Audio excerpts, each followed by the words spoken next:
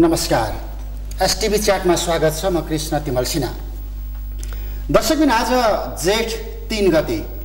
तत्कालीन घटनाक्रमलाई स्मरण गर्ने हो भने दुई हजार पचास साल जेठ तिन गते तत्कालीन नेकपा एमालेका महासचिव मदन भण्डारी सङ्गठन विभागका प्रमुख जीवराज आश्रितको आजकै दिन चितौनको दासढुङ्गामा जीव दुर्घटनामा निधन भएको दिन। उक्त दुर्घटनालाई पछिसम्म पनि र एकाथरीले अहिलेसम्म पनि त्यो हत्याकाण्ड हो भनेर विश्लेषण गरिराखेका छन्। सँगसँगै उक्त दुर्घटनामा बाँचेका चालक अमर लामाको केही समय पछाडि हत्या भएको छ। यस हिसाबमा पनि अझैसम्म रहस्यको गर्ममा रहेको त्यो दासढुङ्गा दुर्घटनाको पृष्ठभूमिमा केन्द्रित रहेर समग्र सरकारमा सहभागिताको प्रश्न र पार्टी एकताको प्रश्नमा केन्द्रित संवादमा आज हामीले सङ्घीय समाजवादी फोरमका सहअध्यक्ष सांसद राजेन्द्र श्रेष्ठसँग संवाद गर्न खोजिराखेका छौँ जो दासढुङ्गा हत्याकाण्डको समयमा नेकपा एमालेको केन्द्रीय सदस्य पनि हुनुहुन्थ्यो। स्वागत छ। हजुर धन्यवाद। त्यही पृष्ठभूमि जति बेला तपाईँ त्यो पार्टीमा हुनुहुन्थ्यो र पार्टीको महासचिवको दुर्घटनामा निधन भयो भनिएको थियो अनुसन्धान छानबिन पार्टीले पनि गर्यो। तर आजका दिनसम्म सबै तह र तबकाका कार्यकर्ताले चित्त बुझाउन सकिराखेका थिएनन्। छैनन्। त्यो घटना त्यो दुर्घटना त्यति बेला आएका परिदृश्यहरू र वास्तविकताहरू के थिए? अब सबभन्दा पहिला त आजको दिनमा नेपाली कम्युनिस्ट आन्दोलनका एकजना वैचारिक राजनीतिक रूपले प्रष्टका साथ आफ्नो भिजन दिन सक्ने जनताको बिचमा गडगडाट ढङ्गले अगाडि बढ्न सक्ने नेताको रूपमा कमरेड मदन भण्डारीले मैले सम्झन्छु। र उहाँको दुःखद निधन जुन भयो त्यसप्रति म हार्दिक श्रद्धाञ्जली पनि व्यक्त गर्न चाहन्छु। र उहाँको निधनको पछाडि रहेका तथ्यहरू के हुन्? जस्तो हामीले त्यति बेला उहाँको चाहिँ स्वाभाविक दुर्घटना होइन त्यो हत्या हो भन्ने कुराहरू भनेका थियौँ। र त्यसअनुसार पार्टीभित्र पनि त्यसको छानबिन समिति बनेको थियो र त्यो छानबिन समितिको संयोजकै वर्तमान प्रधानमन्त्री हुनुहुन्थ्यो। होइन? र त्यसले दिएको रिपोर्ट र सरकारको पक्षबाट त्यसरी अनौपचारिक रूपमा मानव अधिकारसँग सम्बन्धित संस्थाहरूबाट जुन रिपोर्टहरू दिएका छन् त त्यसका आधारमा त्यसलाई सार्वजनिकीकरण गर्दै त्यसलाई थप छानबिन हुनु पर्थ्यो तर दुर्भाग्यको कुरा भनौँ अब स्वयं केपी ओली आज प्रधानमन्त्री भएको बेला होइन पटक पटक। उहाँ गृहमन्त्री पटक प्रधानमन्त्री धर्मपत्नी राष्ट्रपति भएको बेला। हजुर अहिले स्वयं विद्या भण्डारी सम्माननीय पदमा हुनुहुन्छ राष्ट्रपतिको रूपमा रहनु भएको छ। अब उहाँहरू यस्तो महत्त्वपूर्ण जिम्मेवारीमा भएको बेला पनि मनोहर भण्डारीको हत्या र पत्ता लगाउन सक्नु हुन्न भने यो राष्ट्र र जनताका लागि यो स्वाभाविक देखिँदैन। त्यसैले उहाँहरूले प्रत्येक ज्येष्ठ तिन गते यसको प्रतिज्ञा गर्नेछन्। तपाईँ आज पनि हेर्नु होला एकदम प्रतिज्ञा विशाल प्रतिज्ञा अहिलेसम्म नभएको प्रतिज्ञा व्यक्त हुँदैछ आजका दिन। तर त्यसको छानबिन किन गर्न सकेन? यो चाहिँ शङ्काको रहस्यको दायराभित्र रह्यो। तपाईँलाई पनि अहिलेसम्म लागिराखेको छ। बासढुङ्गा दुर्घटना थिएन। त्यो एक खालको षड्यन्त्रपूर्ण हत्याकाण्ड थियो। मलाई पनि त्यही भनिराखेको छ अहिले पनि। मलाई पनि त्यो हत्याकाण्ड नै जस्तो लाग्छ। किन भन्दाखेरि त्यो स्वाभाविक देखिँदैन थियो। किन पोखराको एउटा प्रोग्राममा सम्बोधन गरेर फर्किएपछि अब जुन ठाउँमा दुर्घटना भयो त्यो दुर्घटना हुने स्थल जस्तो पनि थिए थिएन। त्यहाँ हामीले स्थलगत स्टडी गर्दाखेरि पनि। र उहाँले समकालीन राजनीतिमा जुन ढङ्गले राजतन्त्रमाथि च्यालेन्ज गरेर अगाडि आउनुभएको थियो एउटा शान्तिपूर्ण जनआन्दोलनबाट पनि त्यो ढङ्गले परिवर्तनको लागि चाहिँ अगाडि बढ्नुभएको थियो। त्यो कुरा विश्वका पुँजीवादीहरूका लागि चाहिँ चित्त बुझ्ने कुराहरू थिएन। तर नेपालको कम्युनिस्ट आन्दोलनमा त्यसले जुन एउटा चाहिँ नयाँ दिशा दिन खोज्यो अब यसमा चाहिँ उहाँको नेतृत्वदायी भूमिकालाई दुई कोणबाट हिँड्ने गरियो। होइन? एउटा कोणबाट त्यसलाई चाहिँ सकारात्मक रूपमा हेरियो। अर्को कोणबाट त्यसलाई संशोधनवादीको रूपमा होइन? जस्तो मोहन विक्रम सिंह मोहन वैद्य लगायतको टिमले त्यति बेला त्यसको विरोध गर्न गयो। अहिले नेकपा माओवादी केन्द्र छ होइन? त्यति बेला चाहिँ नेकपा माओवादी केन्द्र भइसकेका थिएन नेकपा माओवादी मात्रै थिए। र उहाँहरूले पनि जनयुद्धको चाहिँ। तयारी स्वरूप कार्यदिशाहरू लिँदै थियो। र त्यस अवस्थामा चाहिँ शान्तिपूर्ण ढङ्गले अगाडि बढ्ने जुन चाहिँ काम उहाँले गर्नुभयो। र समकालीन स्थितिमा चाहिँ दुईवटा ढाल त देखियो होइन? एउटा कम्युनिस्ट आन्दोलनको ढालले अब युद्ध लडेर जाने अर्कोले चाहिँ शान्तिपूर्ण ढङ्गले जाने। भन्नुभयो। त आजको दिनमा बसेर हेर्दाखेरि चाहिँ कतिपय जुन उपलब्धिहरू हासिल भए त्यो एकमात्र बाटोले चाहिँ भएको होइन। दुवै बाटोबाट आएका दुवै। अँ, चाहिँ त्यसमा भूमिका पनि छ। र अझ म त के भन्छु भने गणतन्त्रको बाटो चाहिँ शान्तिपूर्ण आन्दोलनबाट सम्भव थिएन नेपालमा। र नेपालमा अरू सबै कुराहरू होइन चाहिँ शान्तिपूर्ण ढङ्गले आउन सक्थ्यो। तर गणतन्त्र जुन चाहिँ वंशानुगत रूपमा चाहिँ राजतन्त्रको विरुद्ध आउनु पर्थ्यो त्यो चाहिँ जनयुद्धकै परिणाम हो भन्छु म। पछिल्लो दृष्टिमा अनि जनआन्दोलन पनि विकास हुँदै जाँदा दुईवटा कुराको संयोजन चाहिँ भएकै हो होइन? र अब सङ्घीयताको जुन प्रश्न अहिले छ त्यो मदन भण्डारी पनि सङ्घीयताको पक्षमा थिएन। किन भन्दाखेरि उहाँले अगाडि सार्नुभएको ए, जनवादमा पनि सङ्घीयताको कुरा थिएन समानुपातिक समावेशीकरणको कुरा थिएन। चाहिँ मधेस जनविद्रोह र आदिवासी जनजाति आन्दोलनका उपजहरू। अन्तरिम संविधान आइसके पछाडिको परिणाम भयो। तराईमा उठेको आन्दोलनको परिणाम भयो चाहिँ। अथवा मदन भण्डारी सिर्पेज लगाएको राजाले राजनीति गर्नु हुँदैन राजनीति गर्ने राजाले सिर्पेज लाउनु पाइँदैन भन्ने खालको लाइनको राजनीति गर्थे। हजुर। राजा सिर राजनीति गर्ने हो भने सिर्पेज फुकालेर। अर्थात् सिर्पेज लगाउँछ भने राजनीति नगरिकन दरबारमै बस्छ। अर्थात् निष्क्रिय राज संस्थालाई स्वीकारेका थिए सफ्ट लाइनबाट मदन भण्डारीले। यो कम्युनिस्ट आन्दोलनको हिसाबले भन्ने हो भने तपाईँको सुरुवातैदेखि जस्तो कम्युनिस्ट आन्दोलनको स्थापना भनेको चाहिँ कमरेड पुष्पलालले गर्नुभएको थियो। कम्युनिस्ट आन्दोलनको एउटा महान नेताको रूपमा उहाँलाई सबैले सम्मान गर्दछ।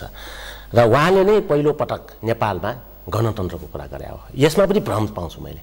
होइन कि नेपालमा गणतन्त्रको पहिलो वकालत चाहिँ रामराजा प्रसाद सिंहले गरे भनेर भन्छन् होइन? तर त्यो होइन। किनभने आधिकारिक रूपमा डकुमेन्टकै रूपमा जुन बेला रामराजा प्रसाद सिंह नेपाली कङ्ग्रेसमा थिए होइन? त्योभन्दा अगाडि नै तपाईँको कम्युनिस्ट आन्दोलनको चाहिँ सुरुवात सँगैसँगै चाहिँ पहिलो पर्चामा थिएन। तर त्यसपछिका चाहिँ दस्तावेजीकरण हेर्दा गणतन्त्रको वकालत गरिसकेको थियो। त्यसकारण गणतन्त्रको पहिलो प्रवक्ताको रूपमा पुष्पलाल नै हुनुहुन्थ्यो। र त्यसरी नै अब कम्युनिस्ट आन्दोलनको लोकतान्त्रिकरणको सन्दर्भमा पनि कतिपय भ्रमहरू छरिए होइन? यो यो कस्तो भ्रमहरू छरियो भने जस्तो यो चाहिँ पछिल्ला दिनमा मात्रै आए भनेर भन्छन्। यो पुष्पलालजीमाथि चाहिँ ठुलो अन्याय भएको छ। किनकि स्वयं पुष्पलालले नेपालको कम्युनिस्ट आन्दोलनलाई लोकतान्त्रिक ढङ्गले अगाडि बढाएको थियो। र हामीले बुझ्नुपर्ने कुरा के हो भन्दाखेरि समकालीन विश्वमा कम्युनिस्ट आन्दोलन एकदलीय जनवादको जस्तो थियो अवस्था थियो नि त होइन? तर के पुष्पलाल एकदलीय जनवादका पक्षधर हुन् त? बहुदलीय जनवाद। उहाँले पहिलो प्रेसमा जस्तो बाइस अप्रिल उन्नाइस सय उनान्चासको दिन चाहिँ उहाँले पार्टी स्थापना गरेपछि अट्ठाइस अप्रिलमा जुन चाहिँ एउटा दस्तावेज। गर्यो त्यसको शीर्षक नै के थियो नागरिक स्वतन्त्रता जिन्दाबाद वाक स्वतन्त्रता प्रेस स्वतन्त्रता सभा गर्ने स्वतन्त्रता सङ्गठन गर्ने स्वतन्त्रता यी सब स्वतन्त्रता हुनुपर्छ र त्यसका लागि चाहिँ यो नयाँ जनवादी व्यवस्थाको स्थापना हुनुपर्छ भनेर उहाँले नयाँ खालको लोकतन्त्रको कुरा गर्नुभएको थियो। र त्यहाँ कहीँ पनि एकदलीयताको कुरा र कम्युनिस्ट पार्टीको एकाधिकारको कुरा थिएन। र आठ सालमा उहाँले नै तयार गर्नुभएको चाहिँ एउटा दस्तावेज छ। नयाँ जनवादको निमित्त नेपाली जनताको बाटो भन्ने छ। र त्यो हलमा अरू नै नेताहरूले चाहिँ प्रस्तुत गरे भन्छ तिनवटा डकुमेन्ट थियो। तिनवटा डकुमेन्टमा तिनजना नेताले प्रस्तुत गरे पनि त्यो लिखत चाहिँ सबै पुष्पलालको थियो। र उहाँको त्यो लिखतलाई मनमोहन अधिकारले दस सालमा संशोधन गरेको थियो र पुष्पलालको त्यो आठ सालको नयाँ जनवादको निमित्त नेपाली जनताको बाटो चाहिँ उग्रवादी हो। भनेर मनमनले आरोप लगाएको देखिन्छ। तर यहाँ त के गरियो भने कम्युनिस्ट आन्दोलनकै नेता भनिनेहरूले हलमा कसले पढ्यो भन्ने आधारमा मनमोहनको दस्तावेज भन्दा दस्तावेजकरण गर्न खोज्यो। तर वास्तवमा त्यति बेलाका त्यो डकुमेन्ट चाहिँ लेख्ने ग्रुपभित्रका साथीहरूले त्यो सबै तिनटै डकुमेन्ट पुष्पलालले तयार गर्नुभएको थियो। र अहिले पनि लक्ष्मीभक्त उपाध्याय जस्तो जिउडा व्यक्तित्वहरू हुनुहुन्छ भाग लिएका त्यति बेलाका नेताहरूमा। र उहाँहरूले पनि लेख्नु भएको छ त्यो दस दस्तावेज। नयाँ जनवारको निमित्त नेपाली जनताको बाटो जुन छ त्यो पुष्पलालकै डकुमेन्ट थियो। र त्यो त्यो डकुमेन्ट हेर्ने हो भने आज उठेका मुद्दाहरू छन् त्यसमा होइन? त्यो मदन भण्डारले पनि उठाएको थिएन। आज उठाएको हो अब आज उठेको जस्तो समानुपातिक प्रतिनिधित्व उहाँले डकुमेन्टमा लेख्नु भएको छ। प्रदेश संरचना। प्रदेशहरूको नेपालमा प्रदेशको आवश्यकता त्यो डकुमेन्टमा छ। त्यसरी नै जातीय आत्मनिर्णयको अधिकार त्यो डकुमेन्टमा छ। भाषिक समानता सबै भाषालाई सम्मान गर्नुपर्छ। मातृभाषाबाट चाहिँ सबैले समान ढङ्गले पढ्न पाउनुपर्छ र सरकारी कामकाज गर्न पाउनुपर्छ। न्यायालय पनि निर्वाचित हुनुपर्छ। होइन? अब तपाईँको बहुदलीय दृष्टिकोणले नै त्यो समानुपातिक प्रतिनिधित्व जसले जति प्रतिशत मत ल्याउँछ त्यसले प्रतिनिधित्व पाउनुपर्छ। राज्यका अङ्गहरूमा यी कुरा त तेह्रवटा विशेषताको रूपमा पुष्पलालले लेखेकै थिए। तर त्यो कुरालाई चाहिँ पछिल्ला दिनहरूमा उहाँलाई विस्थापित गरिसकेपछि र पछिल्लो अवस्थामा तिनीहरूले निरन्तरता पाएन र कतिपय कुरा त उहाँलाई बाध्य पारेर पनि अब बहुमतका आधारमा पनि परिवर्तन गराएका कुराहरू पनि छन्। जस्तो अब कम्युनिस्ट पार्टीको स्थापना दिवस बाइस अप्रिल थियो। होइन? अब चारजना नेताहरूले चाहिँ त्यो स्थापना गरे। तर त्यहाँ विवाद के भयो भने के निकालियो भने स्थापना गरेर नेपाल फर्केपछि केशरजङ रायमाझीजी ले चाहिँ उहाँ विद्यार्थीको नेतृत्व गर्नुहुन्थ्यो र उहाँले चाहिँ होइन चारजना नेवारहरूले मात्रै स्थापना गर्यो। मलाई किन संस्थापक नबनाएको भन्ने विवाद निकाले त्यसपछि तपाईँको मनमोहन अधिकारी ल इन्डियामै थियो। उहाँलाई किन चाहिँ संस्थापक नबनाएको भनेर विवाद उठाए। अनि फेरि एउटा भेला चाहिँ हुनैपर्छ भनेर चाहिँ धेरै दिन त्यहाँ चाहिँ ऊ भएपछि अनि पन्ध्र सेप्टेम्बरमा अर्को भेला गरेर भाद्र भाद्र महिनामा होइन? त्यसपछि त्यहाँ चाहिँ एउटा डिक्लेरेसन होइन? कम्युनिस्ट पार्टीको मेनिफेस्टो जारी भयो। अनि के भन्यो भने यहाँ सुन्नुहोस् अचम्मको कुरा चारजना नेवारहरू मात्रै संस्थापक हुन पाउने भन्ने कुरा उठाएर त्यसपछि पन्ध्र सेप्टेम्बर चाहिँ स्थापना दिवस मानियो हेर्नु।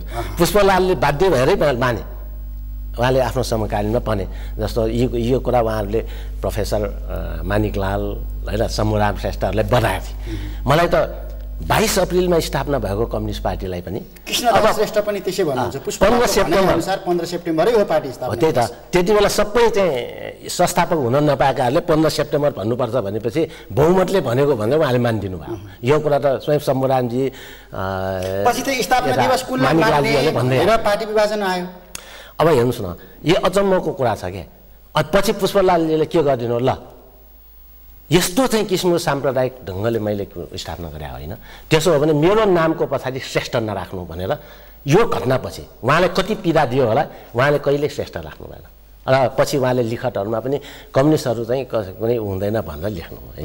अब यस्ता कतिपय घटनाहरू पनि छन्। त अब यो यो कुरालाई फेरि होइन पछि चाहिँ मदन भण्डारीको नेतृत्वमा अब त्यति बेला प्रारम्भिक कालमा आएका कुराहरू थिए। अलि पछिल्लो कालमा अल संस्थागत ढङ्गले त्यसलाई विकास गर्दै होइन बौद्धले प्रतिस्पर्धासहितको चाहिँ राजनीतिक प्रणाली अप्नाउने भनेर जनताको बहुल्य जनवार चाहिँ पछि अरू परिपक्वता भएर आयो। त्यसले त्यसले चाहिँ समकालीन विश्वमा चाहिँ जुन एकदलीय ढङ्गको कम्युनिस्ट आन्दोलन चलाएको थियो।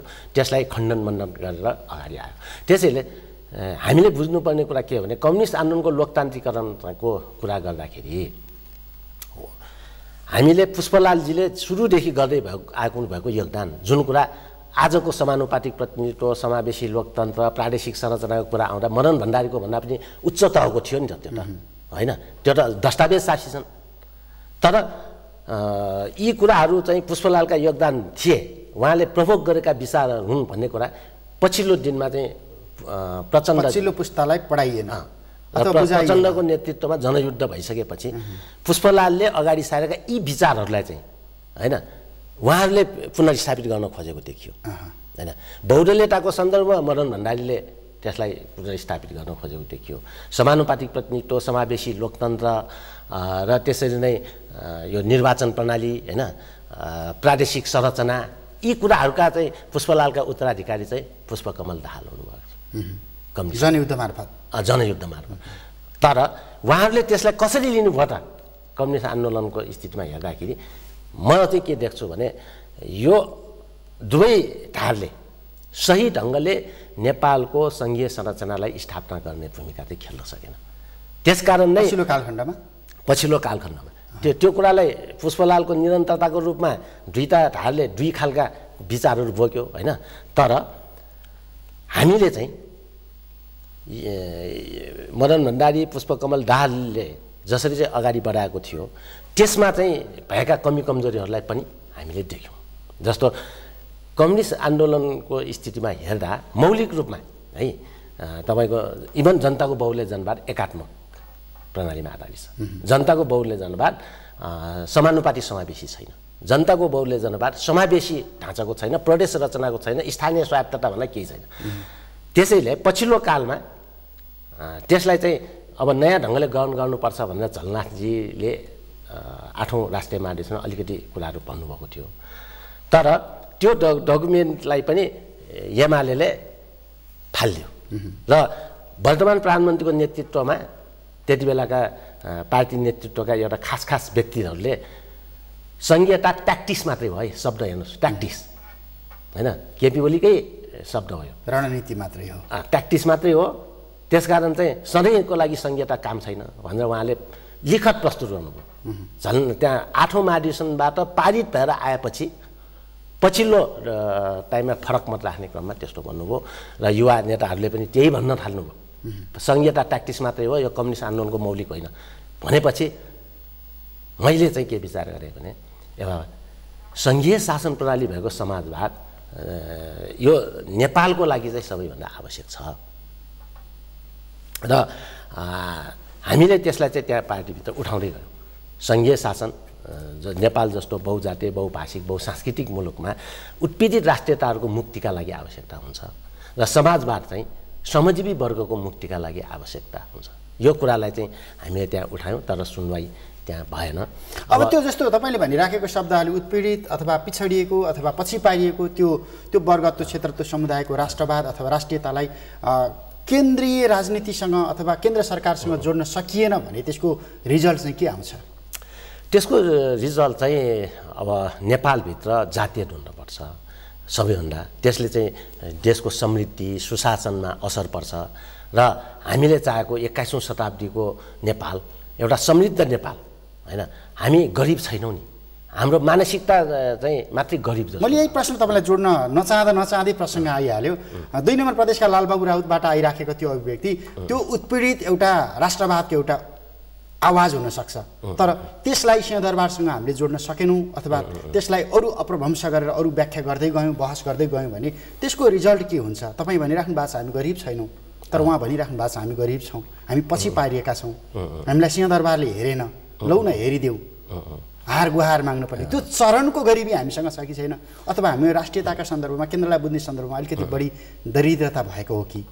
यसमा इतिहास र वर्तमानलाई केलाउन आवश्यक जोड्न नचाहेको प्रसङ्ग तर अब यहाँ जोडिहाल्नु भयो अब इतिहासको प्रसङ्ग उल्टाउँदा आजका एकदम विकसित भनेको अमेरिका अस्ट्रेलिया जस्तो देशभन्दा उहाँहरू चाहिँ त्यहाँका आदिवासी समुदायहरू वा युरोपियनहरू त्यहाँ जानुभन्दा अगाडिको अमेरिका अस्ट्रेलियाको अवस्था हेर्ने हो भने नेपाल जति पनि विकसित थिएन।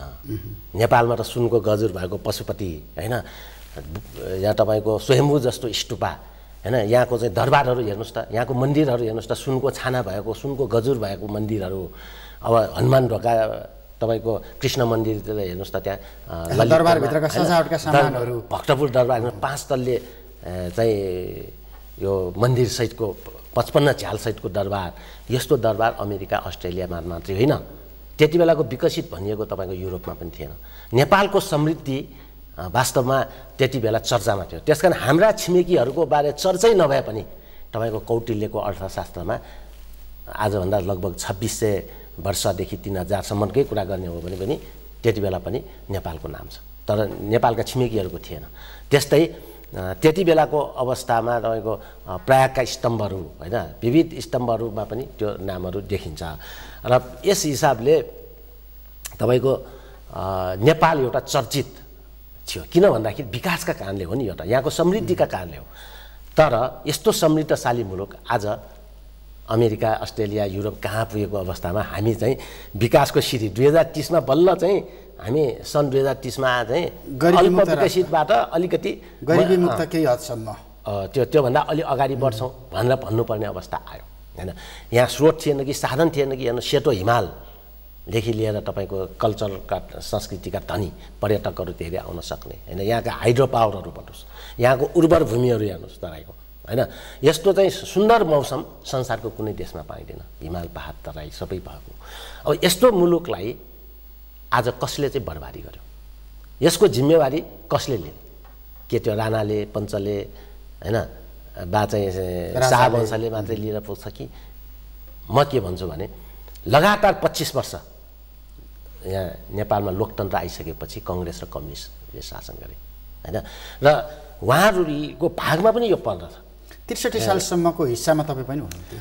मेरो पनि थोरै थोरै पर्छ नि होइन? हामी अब राजकीय चौसठी साल राजकीय फरक भए हो तपाईँको राजकीय सत्ताको सन्दर्भमा अब हामी त्यसरी धेरै नै अगाडि बढेर र त्यसमा चाहिँ पदै नपाए चाहिँ यो नर्कमा बस्या हुन्छ भन्ने ढङ्गले हामीले कहिले सोचेनौँ। हामी सैद्धान्तिक वैचारिकमा काम गर्छौँ र आज पनि म एमालेमा रहँदा होस् एमालेबाट अलग भएर नयाँ ढङ्गको राजनीतिक शक्ति निर्माणको अभियानमा लागिसकेपछि होस् कसैले पनि यो प्रश्न उठाउन सक्ने ठाउँ मैले राखेको छैन।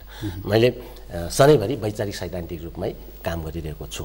र आजको यो स्थिति जुन तपाईँले अघि उठाउनु भयो नि समृद्धिको सवाल र देशलाई जोडेर।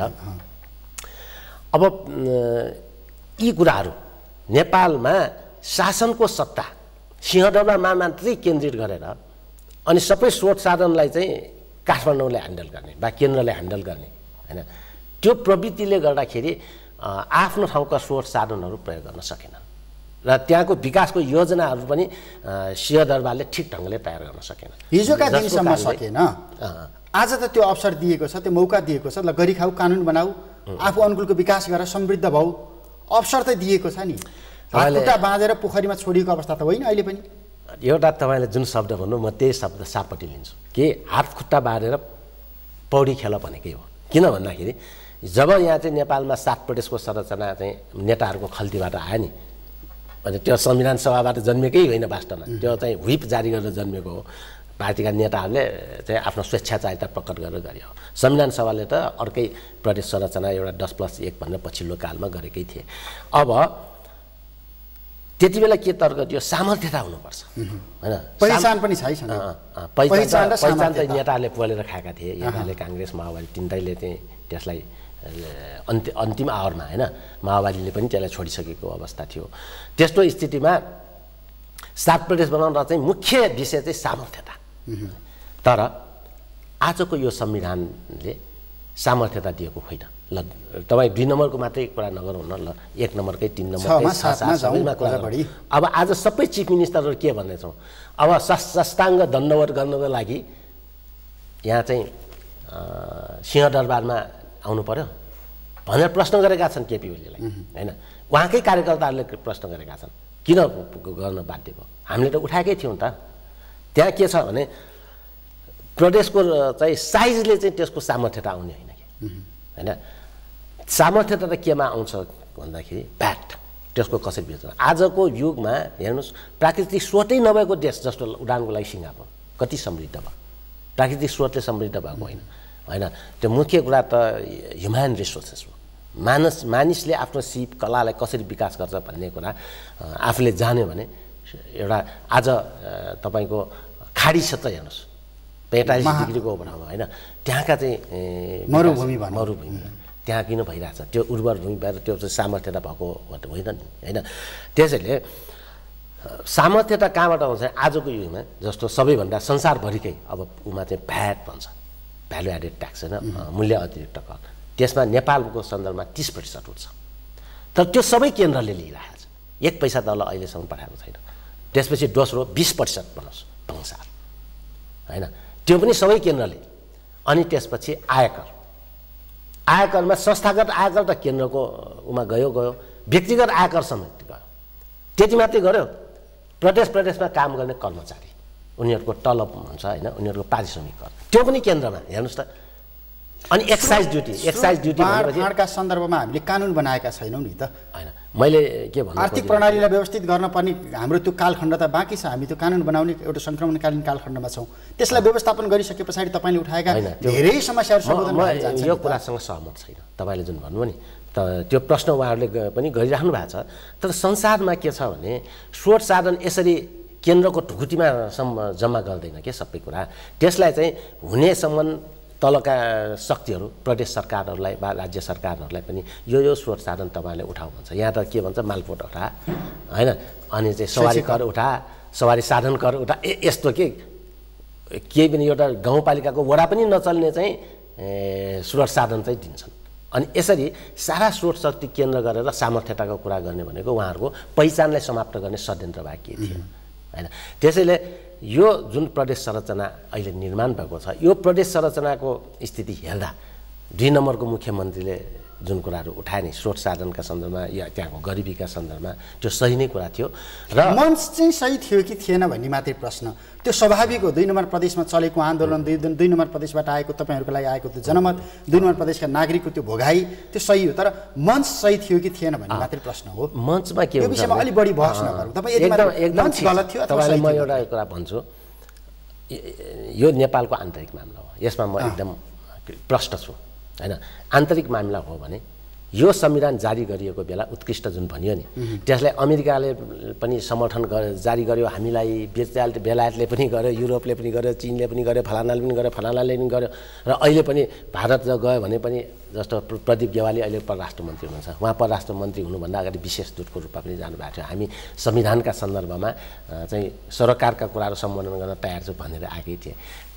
कमल थापा गएर पनि भनेर आएकै थिए उप प्रधानमन्त्री अरू अरूले पनि भनेकै थिए। र त्यही मञ्चमा पनि अब ईश्वर पोखरेलले नेपालमा भइरहेको द्वन्द्वहरू राजनीतिक हेर्ने चाहिँ एजेन्डाहरू जुन सम्बन्ध छ त्यसलाई चाहिँ हामी मिलाएर जान्छौँ भनेकै थिए। किन भन्नु पर्यो विदेशी प्रधानमन्त्री आएको बेला पर्दैन नि। होइन विदेशमा गएर किन यसको लागि लबिङ गर्नु पर्यो समर्थन खोज्ने चाहिँ आन्तरिक हस्तक्षेप नहुने। आन्तरिक मामला नहुने समर्थन खोज्ने चाहिँ। अनि विरोध यो संविधान त हामीले सुरुमै मानेकै थिएन नि त। हामीले आन्दोलनै गरिरहेको अब समर्थन खोज्नेहरूले त्यो कुरा एजेन्डा उठाएपछि विरोध गर्नेले पनि उठाउँछ भन्ने कुरा सत्ता पक्षले बुझ्न जरुरी छ। त्यसकारण म के भन्छु भने यस्ता मुद्दाहरू अन्तर्राष्ट्रियकरण नगर्ने हो भने यो संविधान चाहिँ विश्वका उत्कृष्ट हुन्। अमेरिकाजी युरोपियन युनियनजी भारतजी चिनजी भन्नु पर्दैन। आफै लागू गर्दै सकिएको अब हामी त्यस यो प्रक्रियामा आफ्नो फरक मतका बावजुद आयौँ र हामीले यो संविधानलाई शान्तिपूर्ण रूपमा परिवर्तनको दिशामा जान चाहन्छौँ। र यसमा भएका चाहिँ गलत कुराहरूलाई संशोधनको माध्यमबाट पुनर्लेखन गरेर अगाडि जान चाहन्छौँ। यस हिसाबले हाम्रो आफ्नो नीति लिएर हामी यो लिगमा अब परिवर्तनका लागि हिँडेका। भनेपछि सतहमा बुझ्दाखेरि यो संविधान अथवा नेपालको समृद्धिको प्रश्न गरिबीको प्रश्न नेपालको आन्तरिक मामिला हो। चाहे सिंहदरबारले गरोस् चाहे लालबाबु राउतले गरून् यो आन्तरिक मामिलामा बाह्य पक्षलाई सहभागी गराउनु अथवा हार गुहार माग्नु गलत हो। मैले स्पष्ट भने समर्थन माग्ने कुरा ठिक हो भने विरोध गर्नु पनि ठिक हो। समर्थन माग्ने कुरा गलत हो भने विरोध गर्ने पनि गलत हुन्छ। त्यस कारण आन्तरिक मामला हो भने सबैभन्दा मुख्य दायित्व त सिंहदरबारको हो नि। यहाँ चाहिँ आन्दोलन भइरहेको छ चित्त बुझेको छैन भने जस्तो विगतमा भयो नि। हामीले यहाँ मुभमेन्ट गरिरहेका छौँ। तर उहाँहरूले चाहिँ संविधानमाथि भएको समस्याको चाहिँ समाधान गर्नुको लागि प्रस्ताव चाहिँ इन्डियामा पठाए होइन? भारतमा पठाएर ल यस्तो भनिदिनुहोस्। यस्तो खालको चाहिँ छ बुधे प्रस्तावका कुरा आएका विगतलाई। कोट्यायो भने घाउ फेरि बल्झिन्छ। अब वर्तमानतिरै जाउँ। तपाईँहरू केपी शर्मा ओली नेतृत्वको सरकार बनिसके पछाडि निशर्त ओलीलाई विश्वासको मत दिनुभयो। निशर्त राष्ट्रपतिमा मतदान गर्नुभयो। सभामुख उपसभामुख उपराष्ट्रपति लगायत सबै उहाँ सघाएर यहाँसम्म आउनुभयो। भनियो तपाईँहरू सरकारमा जाँदै हुनुहुन्छ निर्णय पनि गर्नुभयो। आजका दिनसम्म त्यो तिथि जुरिराखेका छैन। एउटै प्रश्न छ सङ्घीय समाजवादी फोरम सरकारमा जान्छ कि जाँदैन? मन्त्रालय खाली छ सिंहदरबारमा तपाईँहरूका नाममा। अब यस सन्दर्भमा चाहिँ म के भन्न चाहन्छु भने मन्त्रालय सिट खाली छ कि छैन त्यो मुख्य कुरा होइन। हामी सरकारमा जान्छौँ कि जाँदैनौँ त्यो पनि मुख्य कुरा होइन। मुख्य कुरा के हो भने हामीले उठाएको एजेन्डा सही ढङ्गले सम्बोधन गर्न तयार हुन्छ कि हुँदैन भन्ने हो। र हामीलाई वास्तवमा सङ्घीय समाजवादी फोरम नेपाललाई अहिले केन्द्रको सरकार चलाउने म्यान्डेट पनि छैन होइन? तर उहाँहरूले नै के भन्नुभयो भने संविधानका सन्दर्भमा तपाईँहरूले उठाएका एजेन्डाहरूप्रति अब नयाँ ढङ्गले हामी बहस गर्न नयाँ ढङ्गले सम्बोधन गर्न र समस्यालाई सधैँको लागि हल गर्ने दिशामा अगाडि बढ्न तयार छौँ तपाईँ र हामीहरू चाहिँ बसेर छलफल गरौँ र तपाईँहरू पनि सरकारमा आइदिनुहोस् भनेर मित्रताको हात उहाँले नै अगाडि बढाएपछि हामीले पनि युद्धरत पार्टीहरू त मिल्छन् होइन? हामीले देखेको भने यो अवस्थामा शान्तिपूर्ण ढङ्गले द्वन्द्वहरूको व्यवस्थापन गर्ने र नेपाललाई राष्ट्रिय एकताको दिशामा लाने र समृद्धिको बाटोमा जाने कुरामा ल ठिक छ। हामी पनि उसो भए यो ढङ्गले सहयात्रा गर्न तयार छौँ। भनेर भनेकै हो। तर त्यसका लागि शीर्ष तहमा र कार्यदल तहमा जुन वार्ताहरू भए त्यसले एउटा निचोड पनि निकालेकै थियो र त्यो निचोडको आधारमा हामीले हाम्रो पार्टीको तर्फबाट केन्द्रीय आफ्नो जुन निकायहरू छन् त्यहाँ चाहिँ अनुमोदन गरायौँ होइन? त्यति बेलै हामीले कार्य सम्पादन समिति विभिन्न ठाउँमा यस्तो यस्तो कुराहरू भएको छ भन्ने कुरा गरायौँ। र उहाँहरूको तर्फबाट गर्नुपर्ने कुराहरू उहाँहरूले गर्नु भएन र सुरुमा उहाँहरूले ल आजै हस्ताक्षर गरौँ भोलि हस्ताक्षर गरौँ भन्ने ढङ्गले एकदमै हटारो पनि प्रकट गरेको थियो है। किन ढिला भइरहेछ भनेर चाहिँ स्वयं प्रधानमन्त्रीज्यूले सरोकार राख्नुभएको थियो। तर जब एमाले र माओवादीको एकीकरणको प्रक्रिया द्रुत गतिमा अगाडि बढ्यो नि त्यसपछि चाहिँ हामी हामीले भ्याएनौँ भन्न थाल्यो तपाईँहरूको आवश्यकता महसुस भएन? सायद उहाँहरूमा उपयोगवादी चिन्तन छ तर हामी के ठान्छौँ भने उपयोग होइन। आजको दिनमा उभिएर हेर्दा एकले अर्कोलाई उपयोग गर्न खोज्छन्। त्यो भिन्नै कुरा हो होइन? अन् अन्तर्राष्ट्रिय शक्तिहरूले पनि साना राष्ट्रहरूलाई उपयोग गर्न सोक्या खोज्या हुन्छ। अलिकति सबल भएको पार्टीले अर्कोलाई उपयोग गर्न खोज्या हुन्छ। इभन कमजोर पार्टीले पनि अरूको अरूलाई उपयोग गर्नको लागि कुरा गरे हुन्छ। त हाम्रो पार्टी त एउटा हेर्नुहोस् नेपाली काङ्ग्रेसले अहिले केन्द्रमा पनि धेरै गुमायो सात प्रदेशमा एउटा ठाउँ पनि सरकार बनाउन सकेन। तर सङ्घीय समाजवादी फोरम कमसेकम एउटा प्रदेशमा सरकारको नेतृत्व गर्न सक्षम भएको छ।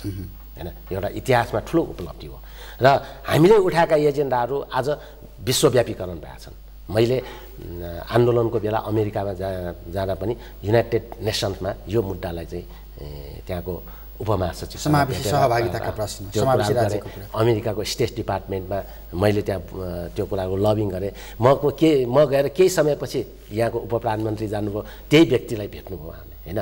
संयुक्त राष्ट्रसङ्घमा पनि त्यहाँ पनि। मतलब हामीले यसलाई अन्तर्राष्ट्रिय क्षेत्रमा उठायौँ। यहाँ पनि तत्कालीन चिनिया राजदूत उचिन्ता हो होइन? उहाँसँग हामीले होटेल साङ्ग्रिलामा हाम्रो लभिङ गऱ्यौँ। किनभने सरकारले लभिङ गरिरहेको थियो हामीले पनि लभिङ गरे वा उसले नगरे भए हामी पनि अन्तर्राष्ट्रियकरण गऱ्यौँ अन्तर्राष्ट्रियकरण आन्तरिक मामिला सुनायौँ हामीले। होइन? उहाँ उहाँले त्यो गर्नुभयो। र विश्व नेपालमा मात्रै होइन संसारभरि नै लोकतन्त्र र मानव अधिकारका सन्दर्भ एउटा शाश्वत भइसकेको छ त्यो पनि हामीले बुझ्न जरुरी छ। खालि आन्तरिक मामिलाको मात्रै कुरा गर्दा पनि प्रश्न रहेको छैन। अब अहिले भन्नुहोस् न तपाईँको जुनसुकै देशमा हत्या आतङ्क भयो भने त्यसको चाहिँ मुद्दाहरू संयुक्त राष्ट्रसँग उठ्छ। त्यो संस्थाहरू त्यही कारणले बनाएका पनि हुन्। यस हिसाबले हामी चाहिँ अगाडि बढेका छौँ।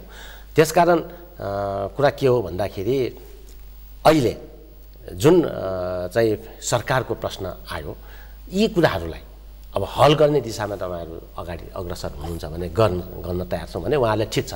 अब नयाँ परिस्थितिमा प्रदेशको पनि चुनाव भइसकेको सबै तहको चुनाव सकिसकेको अवस्था छ। हामी चाहिँ यो तपाईँले उठाउनु भएको संविधानको धारा दुई सय चौहत्तर लगायतका जुन विषयवस्तुहरू छन् त्यसबारे चाहिँ हामी सकारात्मक छौँ। होइन? र अब भविष्यमा तपाईँको यो सात प्रदेशबाट आठ नौ हुन सक्ने गरी संविधान संशोधन गरिदिन्छौँ। त्यसरी नै भाषा नागरिकता त्यसरी नै राष्ट्रिय सभाको सवालदेखि लिएर विविध सन्दर्भमा जुन विगतमा भइरहेका कमी कमजोरीहरू छन् त्यसलाई हटाएर नयाँ ढङ्गले सबैलाई चाहिँ सबै जाति धर्म भाषा संस्कृति समुदायलाई यो देशको चाहिँ मूल प्रभाव होइन एउटा सम्मानित हुन् सबैको समानता हुने गरी सम्बोधन गर्छौँ। भन्ने कुरा भनिसकेपछि सरकारमा जान तयार हुनुभयो। होइन अब तर पछि तर तपाईँहरूमाथि एउटा आक्षेप दुई नम्बर एउटा-। नेपालसँग मिलेर सरकार बनाउनु भयो। दुई नम्बर प्रदेशमा।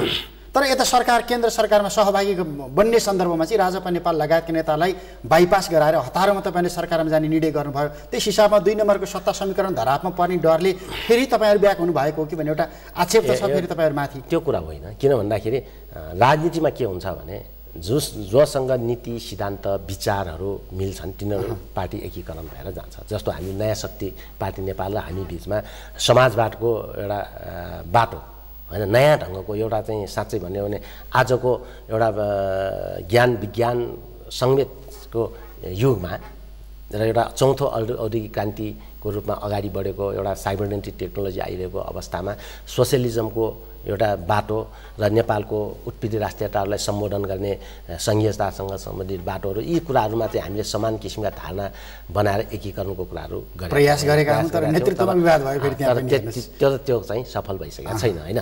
तर नेतृत्वकै विवाद चाहिँ होइन जस्तो केही केही कुराहरू मिलाउनु बाँकी हो। अब राजपासँग चाहिँ के हो त भन्दाखेरि हाम्रो माग र मुद्दाहरू मिल्छन् होइन? अब सम्पूर्ण अब थ्योरिटिकल विचार सिद्धान्त नीति त मिल्दैन। त्यसैले हाम्रो चाहिँ मिल्ने कुरा के हो त भन्दाखेरि माग र मुद्दाहरू। त्यसमा छब्बिस बुधे माग मिल्छ एघार बुधे माग मिल्छ होइन? त्यसमा माग र मुद्दा भएकाहरूसँग कार्यगत एकता हुने हो। र उहाँहरूसँगको हाम्रो सम्बन्ध कार्यगत एकतासम्म सीमित हो। र अब यहाँ सरकारमा चाहिँ जाने नजाने सन्दर्भ आउँदा त अहिले वर्तमान सरकारले नेतृत्व गरिरहेको भनौँ न केपी ओलीजीको नेतृत्व रहेको एमाले माओवादी गठबन्धनले। ल तपाईँहरू पनि एउटा समाजवादको दिशामै जाने पार्टी र हामी पनि त्यो ढङ्गले नै गइरहेको कम्युनिस्ट पार्टी भए पनि हामी चाहिँ अहिलेको समयमा समाजवाद निर्माणमै जाने हो। त्यसैले मिलेर जान सकिन्छ भन्ने कुराहरू गर्यो। अब त्यो कुरा राजपाले किन गरेन? भन्ने कुरा हामीले प्रश्न गर्ने होइन। यद्यपि हाम्रो चाहिँ सोच सोचाइ के छ भने उहाँहरूलाई पनि लिएर सरकारमा चाहिँ जानुभयो भने हामी चाहिँ सकारात्मक तर उहाँहरूले त्यसलाई चाहिँ अगाडि बढाउनु भएन भने त्यो हामीसँग जोड्न जरुरी छैन। फेरि हामी तराईमा पनि तपाईँ हेर्नुहोस् दुई नम्बर प्रदेशमा मात्रै सहकार्य भएको हो के? अब तपाईँको पाँच नम्बर प्रदेशमा पनि तराई छ तपाईँको सात नम्बरमा पनि छ एक नम्बरमा पनि छ होइन? अब त्यहाँ तिन नम्बरमै पनि चितवनहरू छन्। भनेपछि सबै ठाउँमा त उहाँहरूसँग तालमेल भएन नि। दुई नम्बर प्रदेशमा मात्रै भयो तर तराई त पाँच टुक्रा छ चारवटा उमा त भएको छैन। अहिले अहिले जुन सात प्रदेश छ त्यो छ नि त स्थिति। त्यसैले त्यसलाई जोड्न जरुरी छैन भन्ने कुरा म राख्न चाहन्छु। अब जहाँसम्म हामीसँगको सरकारको कुरा हो माथिबाट चाहिँ उहाँहरूले हामीलाई तेस्रो पटक मन्त्री परिषद अ, को चाहिँ पुनर्गठन भएको बेला हामी धुलीखेलमा थियौँ। र त्यहाँ सम्पर्क गरेको थियो। र सम्पर्क गरेर ल आज ग्रहण छ है भन्ने ढङ्गको खबरहरू पठाएका थिए। त हामीले के चाहिँ हामीसँग कुरा हुँदा चाहिँ हामीले के भन्यो भने ग्रहण भन्ने कुरा प्रमुख होइन। मुख्य कुरा भनेको त मन्त्री बन्ने त्यो होइन नि। मुख्य कुरा भनेको नीति सिद्धान्त विचार हो। हामीसँग गरिएको सहमति। जुन लिखत पनि एक किसिमले तयार भए भएकै थियो। त्यसमा सही नगरिकन उहाँहरू अगाडि बढ्न खोज्नु तर उहाँकोहरूमा रहेको एउटा चाहिँ गलत भनेपछि भद्र सहमतिबाट अब राजनीति चल्दैन भन्ने तपाईँहरू निष्कर्षमा पुग्नु त्यो होइन। एमाले र माओवादी एकीकरणको प्रक्रियामा छन् त सरकार बनाउने बेला वा अरू काम गर्ने बेला प्रचण्ड र केपी ओलीले हस्ताक्षर गर्छन्। हामी त फरक पार्टी हो र उहाँहरूसँग हाम्रो एकीकरण हुने होइन। होइन हामी त एउटा सरकारमा मोर्चाबन्दी गरेर एक किसिमको स्ट्राटेजिक एलायन्स गरेर हामी अगाडि बढ्न तयार छौँ न भने हो। अब यो रणनीतिक ढङ्गको चाहिँ एलायन्सबाट हामीले अगाडि बढ्ने सन्दर्भमा खास गरी पहिचान र अधिकारको मुद्दालाई पनि सम्बोधन हुने त्यो दिशा लिने अहिले नै सातको आठ नभए पनि त्यो भविष्यमा चाहिँ आवश्यकताको आवश्यकता बढ्दै जान्छ। त्यो स्थिति अनुसार बढ्दै जान्छ। जस्तो भारतमा पनि पहिला त चौध प्रदेश हो नि तर 32 पछि चाहिँ तपाईँको आन्ध्र प्रदेशको रूपमा पन्ध्रौँ भयो होइन? त्यसपछि तपाईँको उन्नाइस सय साठीमा त्यो चाहिँ पहिचानकै आधारमा गुजरात बन्यो गुजराती भाषाकै आधारमा होइन? त्यसपछि उन्नाइस सय त्रिसठी चौसठीमा होइन? तपाईँको चाहिँ नागाल्यान्ड बन्यो नागाहरू चाहिँ को पहिचानको आधारमा। त्यसो गर्दै जाँदाखेरि आज उनातिस भएको। भने अब नेपालको पनि पहिचानको आन्दोलनको रूप चाहिँ अब केन्द्रबाट दस प्लस एक भनेर मात्रै हुँदैन अब। अब त्यसको लागि प्रदेश प्रदेशमा जस्तो अब तपाईँको थरुवटले सङ्घर्ष गर्छ भने सबैभन्दा पहिला उसले आफ्नो प्रदेशमा पनि सम्बोधन गर्नुपर्ने हुन्छ। लिम्बुवानले गर्छ भने एक नम्बर प्रदेशमा गर्नुपर्ने हुन्छ। नेवारले गर्छ भने तिन नम्बरमा गर्नुपर्ने हुन्छ होइन? अब शेर्पाले गर्छ भने एक नम्बरमा गर्नुपर्ने हुन्छ। यस्ता विविध पहिचानयुक्त प्रदेशहरूको जुन कुरा आउँछ नि त्यो पहिचानयुक्त प्रदेशहरू गठन गर्दाखेरि त्यहाँ पनि सङ्घर्ष हुन्छ नि। यो समृद्धिको यात्रा सँगसँगै उठ्न सक्ने संहिताभित्रको अर्को समस्या भयो। अब अर्को अर्को तपाईँले बिचमा एमाले र माओवादी अध्यक्ष प्रचण्ड र केपी ओलीले हस्ताक्षर गर्छन् तर हामी त एकता गर्ने पार्टी होइनौँ। हामी छुट्टै एउटा अलायन्स हो रणनीतिक अलायन्स गर्न खोजिराखेका हौँ भनिराख्नु भएको छ। तर सामाजिक सञ्जालमा अथवा सञ्चार माध्यममा आइराखेको चाहिँ सङ्घीय समाजवादी फोरममा रहेका उपेन्द्र यादव राजेन्द्र श्रेष्ठ लगायतका नेताहरूको पृष्ठभूमि पनि कम्युनिस्ट विचारकै भयो। उहाँहरू पनि कालान्तरमा यो कम्युनिस्ट वाम गठबन्धनभित्र आउनुहुन्छ वाम एकताभित्र आउनुहुन्छ। आखिर पार्टी उहाँहरूको भविष्य त यही नै हो भनिराखिएको छ। तपाईँहरूको त्यो पार्टी एकताको सम्भावना छ कि छैन अथवा त्यो चरणमा वार्ता भयो कि होइन? यो बिचमा बालुवा तपाईँको यता बालकोटमा पनि धेरै चरणमा तपाईँको पार्टी अध्यक्षले सम्वाद गर्नुभएको हो। खुमलटारमा पनि सम्वाद धेरैचोटि भयो भन्ने समाचार आइराखेको हो। यो कुरामा कुनै सत्यता छैन होइन? अब म त के भन्छ नजाने गाउँको बाटै नछोडौँ भन्ने चाहिँ नछोडौँ भन्ने जुन उखान जस्तै हो अहिले त्यो बाटोमा हामी छैनौँ। र हामी र उहाँहरू बिचको वार्ता होइन? अब अहिले चाहिँ एउटा नयाँ ढङ्गको एउटा स्ट्राटेजिक एलायन्ससम्म सीमित हुन्छ। अब भोलिका दिशाहरूको सन्दर्भमा त काम गर्दै जाँदा होइन कति कुराहरू चाहिँ हामी मिलेर काम गर्न सक्छौँ कति कुरा गर्न सक्दैनौँ त्यो त भविष्यका कुरा हुन् नि। तर हामी हाम्रो हिसाबमा भने- चाहिँ तपाईँहरूका बिचमा अहिले छ। हाम्रो स्पष्ट कार्यदिशा होइन। अहिलेको तात्कालिक राजनीतिलाई अगाडि बढाउने सन्दर्भमा र खास गरी मुलुकलाई समतामूलक समृद्धि आर्थिक विकास र सुशासनको दिशामा लाने सन्दर्भमा चाहिँ उहाँहरूसँग हाम्रो सहकारी हुनसक्छ र पहिचान र अधिकारको सन्दर्भमा उहाँहरूले चाहिँ अलिकति लचिलो भएर ढोका खोल्न तयार भएको मात्रै हो। तर तर हामी त त्यही पक्षको हो नि। तर उहाँहरू त त्यो पक्षको होइन। होइन हुन त यदि उहाँहरू चाहिँ यदि कम्युनिस्ट आन्दोलनको सुरुवाती दिनका जस्तो हन्ड्रेड पर्सेन्ट चाहिँ अब पुष्पलालजीले उठाउनुभएका सम समानुपातिक समावेशी जस्ता एजेन्डाहरू होइन अब तपाईँको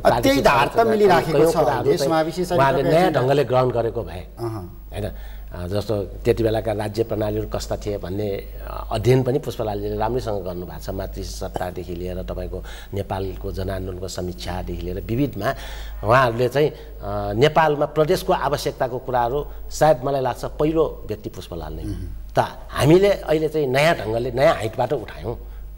तर ओ- पुष्पलालजीको चेतना भन्दा अहिलेको चेतना फरक छ। किनभने पुष्पलालजीको चेतना भनेको त्यति बेलाको समाज, त्यति बेलाको राज्य, त्यति तर पनि समकालीन नेतामा उहाँ जतिको त कोही देखिएन दूरदर्शी नेता। दूरदर्शी त देखिएन। तर हाम्रो युगमा आइपुग्दा हामीले एउटा नयाँ ढङ्गले विश्वव्यापी अध्ययन गर्नेको क्रममा विभिन्न ढङ्गको कस्तो किसिमको सङ्घीय शासन प्रणालीहरू छन् भन्ने सबै कुराहरू हेऱ्यौँ। त्यसरी हेर्दा त तपाईँ अमेरिकामा पनि अब तपाईँको पहिचानयुक्त नामहरू छन् होइन? क्यान्सर समुदायकै नामबाट क्यान्सस बनाएको छ। अर्क्यान्सस समुदायको अर्क्यान्सस भएको छ। होइन एलाबामा त्यस्तै हो। तपाईँको चाहिँ यता अ, ओक्लाहोमा ओक्लाहरूकै होमल्यान्ड हो। होइन यस हिसाबले सङ्घीयता आउने भनेको नै एउटा उत्पीडित मानव समुदाय जाति समुदाय धर्म तिनीहरूको बिचको साझा शासन मिलेर शासन गर्ने भने न हो त्यसलाई मिलेर बसौँ मिलेर शासन गरौँ भन्दा संहिता आएको यहाँ खोला नाला अ, या त कर्णालीले मागेको त होइन बागमतीले मागेको बा चाहिँ कुनै कोसीले मागेको त होइन नि यो यो प्राकृतिक रूपमा चाहिँ उहाँहरू जुन अगाडि बढ्नु खोज्नुभयो त्यो त्योभन्दा पनि हामीले सङ्घीय पहिचान। चाहिँ खोजियो तपाईँले भने जस्तै जातीय समुदायगत पहिचान पहिचान समुदायगत तर पहिचान एउटा खोजिन। कुरा चाहिँ हामी बहुत स्पष्ट छौँ फेरि यो चाहिँ केन्द्र प्रदेश जुन सङ्घ अ, प्रदेशको रूपमा रहन्छ वा सङ्घ र राज्य हुन्छन् यिनीहरू सबै लोकतान्त्रिक हुन्। अमेरिका भन्नुहोस् भारत भन्नुहोस् होइन पहिचान त दियो नि अघि नागाल्यान्ड मिजोराम जस्तै पहिचान त दियो। तर त्यो हिस्टोरिकल ऐतिहासिक पृष्ठभूमिको आधारमा पाएको पहिचान हो। त्यो तिनीहरूको सम्मान हो। तर त्यहाँको राज्य सत्ता कसरी चल्छ भने आज आस्ट्रिक जातिको पहिचानबाट अस्ट्रेलिया भनेको छ नि तर शासन त अरूले गरेका छन्। त्यो त्यो पनि देखिन्छ होइन कतिपय ठाउँमा। अब तपाईँको कतिपय देशहरूमा स्वशासित क्षेत्रहरू छन्। चाइनामा पनि एकात्मक राज्यभित्र पनि स्वशासित क्षेत्रहरू छन्। त्यहाँ कतिपय अग्राधिकारहरू जातीय अग्राधिकारहरू समेत दिएर अगाडि बढेको छ। क- त्यो त्यो सङ्घीयतामा संहिताको पनि लामो नभएको बहसपछि अभ्यास पछाडि हामीले भनेको चाहिँ विकल्पहरू भए मैले हामी एउटा अन्त्य- कुरा अन्त्यमा हामी चाहिँ लोकतान्त्रिक छौँ भन्न खोजेको। जस्तो हामीले अब जुन पहिचानयुक्त प्रदेशहरूको कुरा गऱ्यौँ त्यहाँ सबै नागरिकहरू बराबरी हुन्छ। होइन? अब योग्यता क्षमताका आधारमा नेतृत्व गर्न सक्छ। तर हिस्टोरिकल पृष्ठभूमिहरूलाई सम्मान गर्ने कुरा हो। त्यस त्यस हिसाबले पहिचानको मुद्दा भनेको कुनै साम्प्रदायिक मुद्दा थिएन। त्यसो हो भने त अमेरिकै साम्प्रदायिक भने भयो अब ब्रिटेन नाम किन राख्ने ब्रिटिसहरूको त्यहाँ त अहिले आइरिस छन् वेल्स छन् होइन? तपाईँको चाहिँ बेला बखत राज्यमा उठिराखेको छ पहिचान त्यही त। त्यसैले- जन्म सङ्ग्रहसम्ममा पुगि चरणमा। पुगेर अन्त्य अन्त्यमा छौँ। मलाई एउटै शब्दमा बिट मारौँ। ओली र प्रचण्ड मिले एउटै कम्युनिस्ट पार्टी बन्यो र तपाईँहरूले भने जस्तै एजेन्डाहरू बोके। कार्यगत एकता हुने क्रममा भोलिका दिनमा पार्टी एकताको कालखण्डसम्म तपाईँहरूको सहयात्राको सम्भावना कतिको देखिन्छ? होइन मैले त उहाँहरूले अहिले अब छिटोभन्दा छिटो एकीकरण गरेर जनताको बिचमा जुन भोटमा आएको थियो त्यसको सम्मान गरोस्। त्यो उहाँहरूको राजनीतिक-। तर हाम्रो कुरा त मैले भनिहालेँ नजाने गाउँको बाटै नछोडौँ। अहिले चाहिँ हामी स्ट्राटेजिक एलायन्स गर्न तयार भएको हो र त्यसैमा हामी सि- सीमित छौँ। हुन्छ समय र सम्वादको लागि धन्यवाद। हस् धन्यवाद। दर्शकबिन एसटिभी च्याटको आजको समय सकियो। आज हामीले सङ्घीय समाजवादी फोरम नेपालका सहअध्यक्ष सांसद राजेन्द्र श्रेष्ठसँग संवाद गऱ्यौँ। समग्रमा आज दासढुङ्गा दुर्घटना भएको दिन पनि जुरेको थियो। जेठ तिन गते तत्कालीन नेकपा एमालेका महासचिव मदन भण्डारी सङ्गठन विभागका प्रमुख जीवराज आश्रितको जीव दुर्घटनामा निधन भएको दिन त्यो समयमा नेकपा एमालेको केन्द्रीय सदस्यको रूपमा रहनुभएका राजेन्द्र श्रेष्ठ समग्रमा नेपालको कम्युनिस्ट आन्दोलन पछिल्लो समयमा नेपाली समाजले अङ्गीकार गरेको सङ्घीयता र सङ्घीयता सँगसँगै उठेर आएका पहिचानका प्रश्नमा जोडिएर संवाद गऱ्यौँ। समय र संवादका लागि राजेन्द्र श्रेष्ठलाई फेरि पनि धन्यवाद दिन्छु नेपालको पहिलो न्युज च्यानल सगरमाथा टेलिभिजन हेर्दै गर्नुहोला। नमस्ते।